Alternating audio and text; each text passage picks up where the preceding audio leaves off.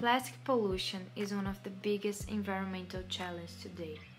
In 2025, the planet could increase 50% of its annual production, resulting in 600 million tons of plastic, polluting oceans, rivers, and soils, where on average 90% of discarded waste is plastic.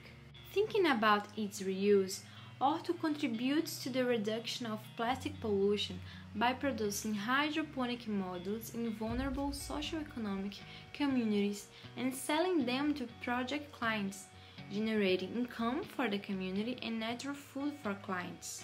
The Orto model aims to be a home garden, following the precepts of hydroponics and sustainability.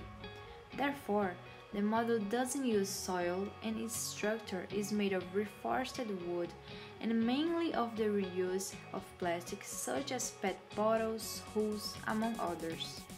Our project seeks to teach the community about the correct disposal of plastic materials, generating a